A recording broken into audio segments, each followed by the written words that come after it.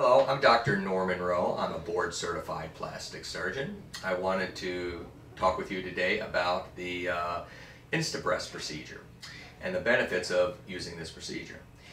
The InstaBreast procedure is a technique where I inject saline into the breast to give the patient an idea of what a breast implant will not only look like, but also what it will feel like.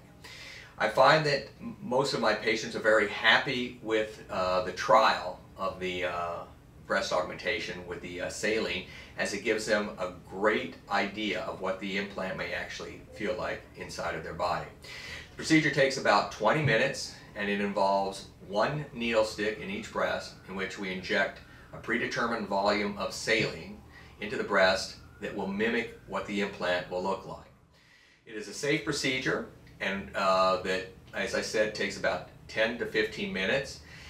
At the end of the 24 hours, the saline that is injected passes harmlessly through the patient and they suffer no long-term sequela. I'd like to invite you to visit my website at normanrowemd.com. That's N-O-R-M-A-N-R-O-W-E-M-D.com to learn more about the product and the uh, procedure or you can call us at my office at 212-628-7300 to schedule your consultation today. Thank you very much.